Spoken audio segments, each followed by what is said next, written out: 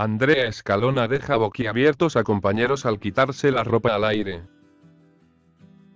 Mayo 31, 2020. Andrea Escalona es una de las presentadoras más polémicas de hoy, pues muchos creen que solo está en la emisión por ser la hija de la productora y no por su carisma y talento.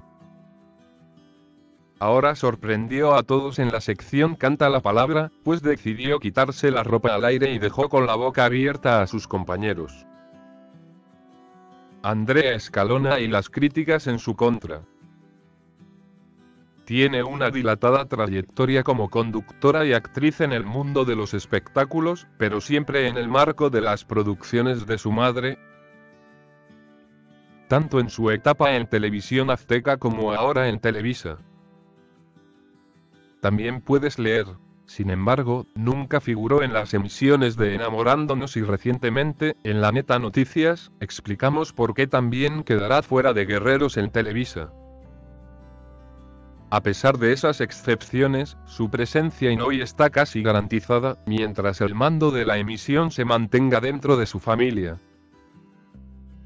Andrea Escalona deja con la boca abierta a todos. La producción de hoy dividió al elenco de conductores en dos equipos para continuar las transmisiones en plena emergencia sanitaria por la aunque para algunas secciones como canta la palabra se hacen enlaces hasta la casa de los conductores.